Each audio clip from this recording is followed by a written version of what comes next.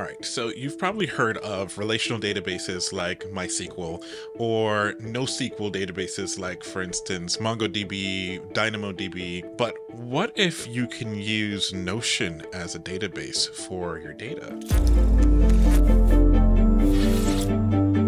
Now, that may seem a bit crazy, but hear me out if you're doing home automations or you're into smart home tech, you may want a place to store textual data. You may want to even store something that's even more unstructured, especially if you're incorporating AI into the mix. And this is where this gets extremely powerful. Using Notion combined with Home Assistant and Node-RED, you can basically start your journey on the world of text. And if you don't know what the world of text is, 20 years ago, I got into this guy named David Allen, who basically said, never ever store anything in your brain. Immediately capture.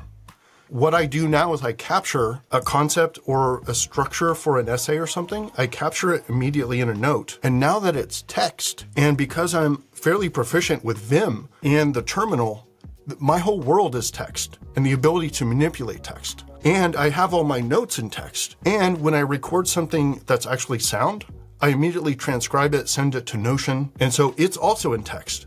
So now I have this world of text that I could use, and now I have this AI infrastructure that manipulates text using AI to get results that help us as humans. I have another video that explains that. The TLDR of it is AI has given text its comeback story, and the main source of protein for AI is indeed text. So if we can somehow save and store a lot of this textual information that AI can understand in a way that we can understand, then I think we're on our way to something much more magical than just turning on and off lights. Okay, so with that out the way, let me show you how you can use Notion within your automations. Now, fair warning, this is going to use Node-RED as the main driver between Notion and your smart home. You can probably do this with within Home Assistant natively. That's not this video. I have here this Notion doc.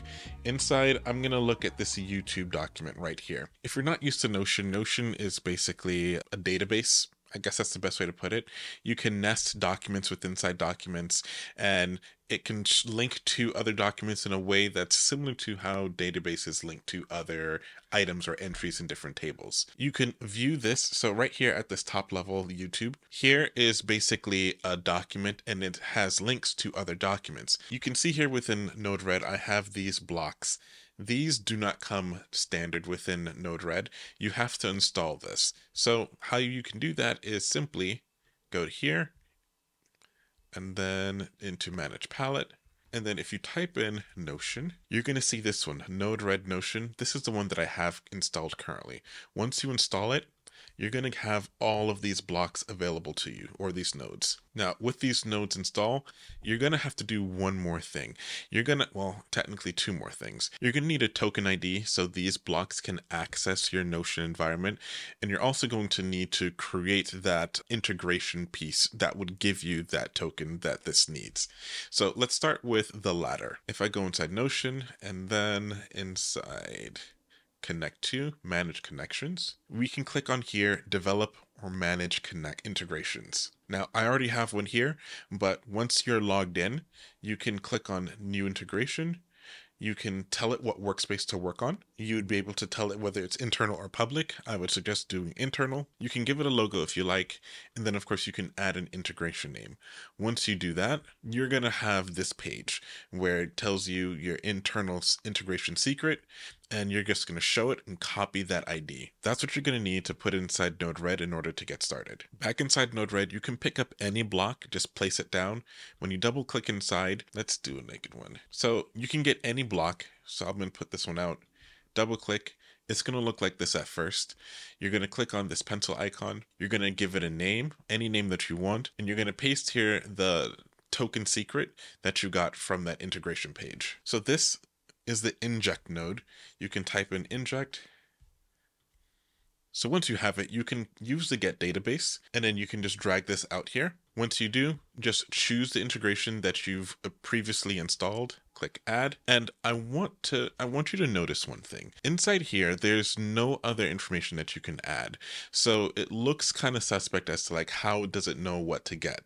When you click on this book here in the corner, this will give you the help that you need to figure out how this works. And here it tells you this is the get database node. It tells you what it does.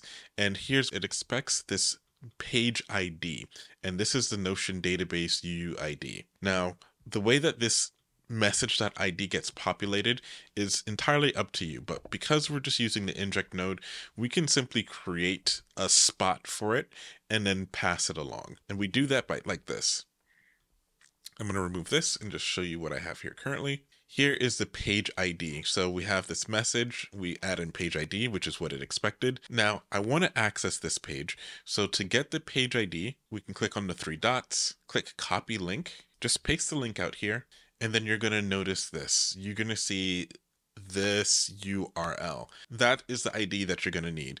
Everything without the YouTube portion or whatever you name yours is just going to be from this this numeric value up until this question mark. All right, I'm going to click done, deploy. To see the information that comes from this node, I have here a debug.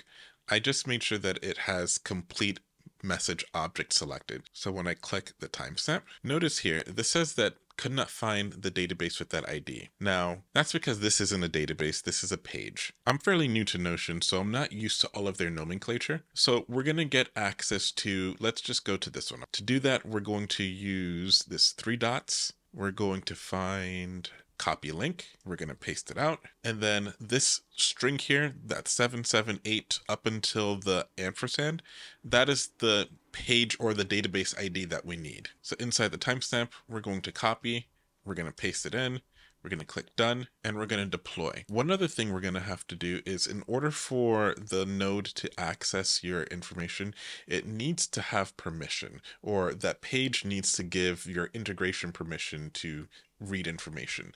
To do that, when you go back inside Notion for the parent, so for this file here, what I'm going to do is I'm going to click on the three dots and I have here it's connected to Home Assistant.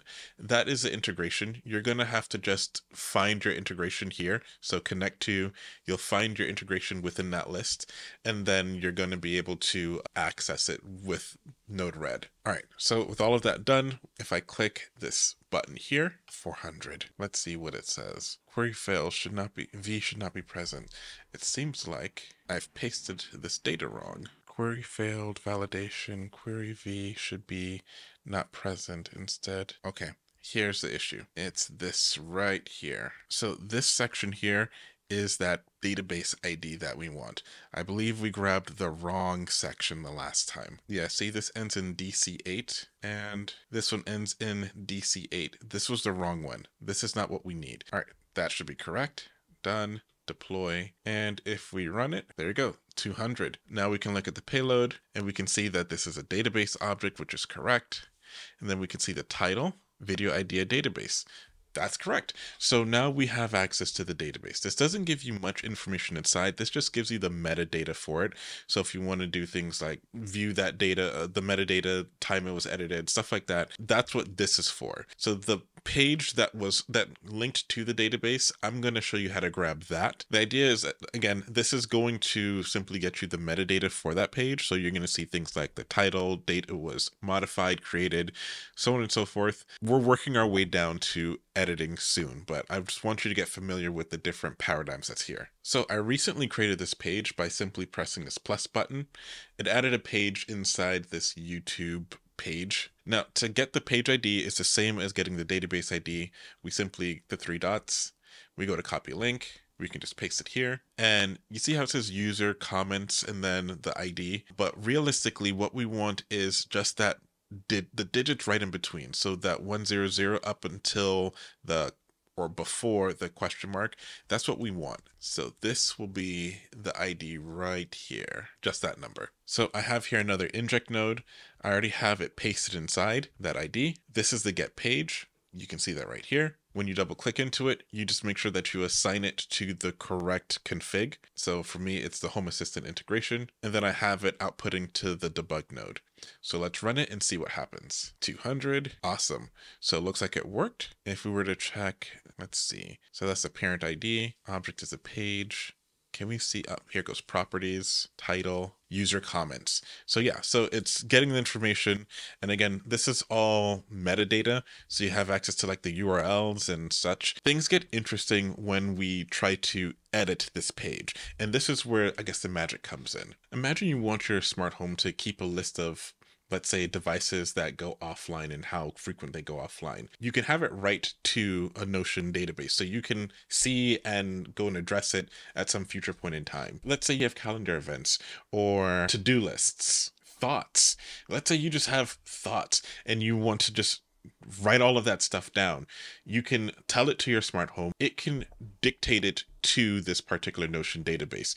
And it may not seem like a big deal at first, but I have an automation that I personally use that shows you what this can do. So let's go to looking for the text data. Now, the text data is basically going to be within a block, and a block can have many other children, similar to how pages can have many other pages, but the block is what represents the text content of a page. Now, the block ID is going to be the exact same as the page ID. In the case for this page here, this has no blocks. It probably has like a title block, so we may see one, but it doesn't have any significant blocks. So if we were to run this, see we have block ID, click on block children and click on this book, you see that it's looking for a block ID. So then in the inject node, we have here the block ID, and this is the same as the page ID. So when I run it and it shows it as a list, it's a type block. Let's put something inside. I'm going to re-enable this. Insert. Now this is the append block. This will let you write text to the Notion page. Now, when we click on this block and we click on the book, we can see the type of like like what it expects and that message object looks pretty complex. So for testing purposes, all I did was copy this and I just restructured it just a little bit for what I wanted. And this is what it looks like. So we have here it needs it in the message or it needs it in the payload and then in the payload we have children which is what it expects and then it's an array of blocks or objects so here we have this object block type paragraph. In the paragraph, it's a rich text and it's a type text. And here's the text information. We're telling that text that this is a link and it has a link to where it needs, wants to go. And then here is the text that is going to be written into the Notion page. And again, remember, we also need the block ID. It needs this in order to know where to write that information to. So this is the same as the page that we mentioned from before.